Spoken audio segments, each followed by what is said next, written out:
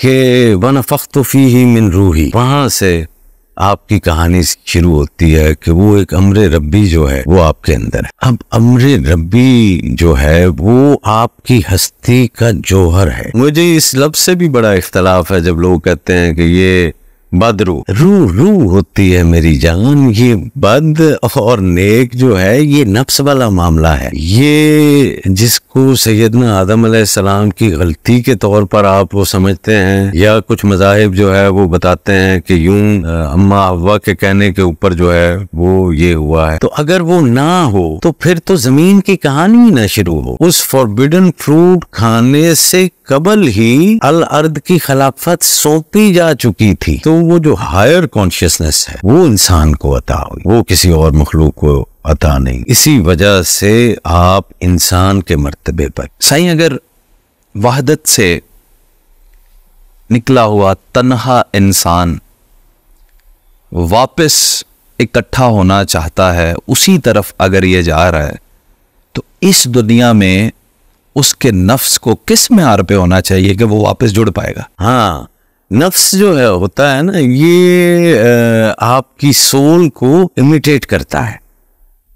इंसान के दो पहलू हैं, पैराडॉक्स के अंदर है, कि वन फख्तफी ही मिन रूही। ठीक है, वहाँ से आपकी कहानी शुरू होती है कि वो एक अमर रब्बी जो है, वो आपके अंदर है। अब अमर रबी जो है वो आपकी हस्ती का जोहर है। It is essence of your life ठीक है? और अमर रब्बी अनोन चेंजिंग है। अनचेंजिंग है। जी। मुझे इस लफ्ज से भी बड़ा इख्तलाफ है जब लोग कहते हैं कि ये बदरू। जी। रू रू होती है मेरी जान। ये बद और नेक जो है ये नफ्स वाला मामला है। वो अमर रब्बी है। हाँ वो कैसे बुरा हो गया? ठीक है। तो आप का जो एसेंस है वो टाइमलेस है वो स्पेसलेस है। वाह वाह। ठीक है? वो जन्नत के बागात से जो है वो शुरू होता है। ठीक है? जहाँ पर ना गुस्सा है न लालच है न प्यार है न नफरत है न अच्छाई है न बुराई है बस वही है। स्टेबल है आप। ठीक है। अनचेंजिंग और उसके अंदर जो है वो फिर सैदना आदम सलाम को उस ट्री ऑफ़ नॉलेज तक ले जाया जाता है कि जिसका वो फॉरबिडन फ्रूट खाने के बाद ये एक्सपीरियंस करता है चेंज को। ओ बाबा ये जिसको सैदना आदम सलाम की गलती के तौर पर आप वो समझते हैं, या कुछ मजाहब जो है वो बताते हैं कि यूँ अम्मा अव्वा के कहने के ऊपर जो है वो ये हुआ है।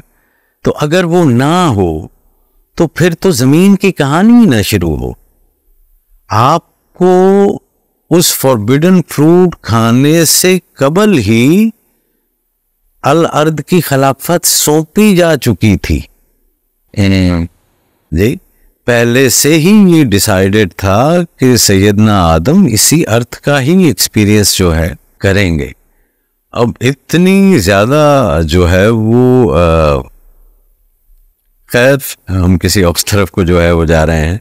तो इंसान के अंदर एक उसकी नॉन चेंजेबल रियलिटी है जो जोबर है।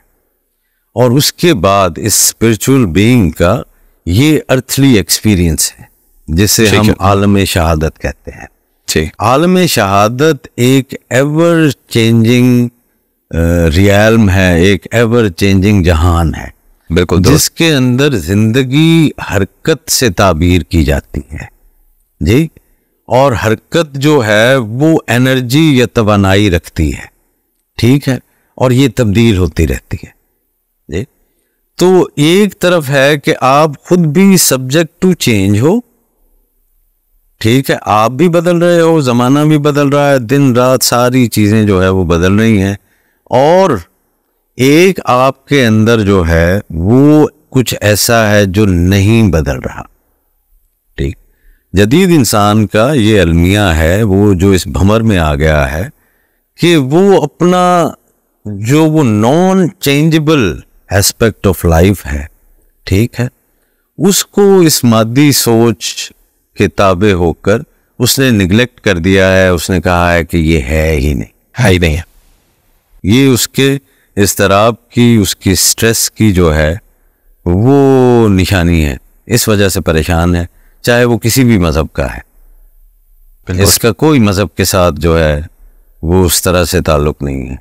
इसका ताल्लुक़ आप इंसानों की इस समझ के साथ है कि आप अपने आप को एक फ़िज़िकल बीइंग के तौर के ऊपर ले रहे हो और कायनात के खालिक के साथ और वो जितनी भी हायर आर्की है, जी, उस सब के साथ आप कोई एक तजर्बा करना चाहते हो। ठीक है? और वो तजर्बा आपको जो है वो रस्मों की सूरत में होता हुआ आप कर भी रहे हैं। नहीं चर्च में भी रसूम इबादत की हो रही हैं सेनेगॉग में भी हो रही हैं, मस्जिद में भी हो रही हैं टेम्पल्स जो है, वो भी भरे हुए ठीक?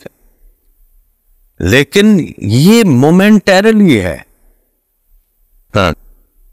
ठीक है।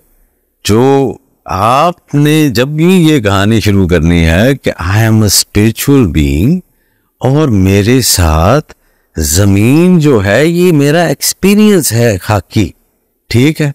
तो अब मैंने इसके अंदर रंग देख रहे हैं कि यार ये कितना खूबसूरत एक्सपीरियंस है कि इसके अंदर कितनी कसरत है, कितनी डाइवर्सिटी है, कितने रंग हैं, लोगों के कितने मिजाज हैं, कितने मौसम हैं, कितनी मखलूक़ात हैं, और ये सारी दुई के ऊपर बनी हैं, इनका एक इनर है, इनका एक आउटर है। ये अजीब कॉम्प्लेक्स अंदाज में एक दूसरे के साथ इंटरकनेक्टेड हैं। कि कहीं दुनिया में कोई एक तितली जो है वो पर ज़्यादा हिला देती है तो कहीं दूसरी तरफ़ जो है वो आंधी आ जाती है। तो ये तजर्बा बहुत खूबसूरत है ना? जी? तो दुनिया यही कुछ है। ठीक है। इसको देखना होता है। जब आप इसको देखते हैं और किसी एक चीज़ के अंदर नहीं उलझते तो आप एक और किस्म की ज़िंदगी जो है वो गुजार रहे होते हैं। एक है जिसे कहा जाएगा एनिमलिस्टिक कॉन्शियसनेस आपका एक हैवानी शूर ठीक? है तो हैवानी शूर जो है वो सर्वाइवल के ऊपर बेस कर रहा होता है ठीक है? और वो तमाम जानवर बाशमूल जो है वो रींगने वाली चूंटी से लेकर हज़रत आदम तक। ठीक है? वो सभी अपने सर्वाइवल जो है वो कर रहे होते हैं। ठीक है? एक तो है ये शूर ये शूर ज़रूरी होता है। अगर ये शूर ना हो तो कोई स्पेशी अपने आप को कायम नहीं रख सकती। ठीक है? फिर होता है कि हायर एक शूर आला। ठीक है? तो शूर आला में फिर आता है कि अल्लाह एक है। तब फिर हज़रत इब्राहिम सलाम जब वो इंसानी शूर हम्म। ठीक है उस हैवानी सतह के ऊपर जाकर वो हो जाता है कि अब ये सारा कुछ जो है वो इसका पूरा कर चुका है तो तब जो है वो आला शूर उतरता है कि इस जहान का खालिक एक है। हाँ वो फिर बताता है ठीक है। तो वो जो हायर कॉन्शियसनेस है ठीक है वो इंसान को अता हुई। मौली वो किसी और मखलूक को अता नहीं। नहीं। इसी वजह से आप इंसान के मर्तबे पर और अगर आप उस आला शूर तक पहुँचने की कोई जस्तजू ही नहीं रखते ठीक है तो आप अपने आप को इंसान समझे चले जाइए। समझने से क्या? शायद कुछ थोड़ी बहुत थेरेपी हो जाती हो।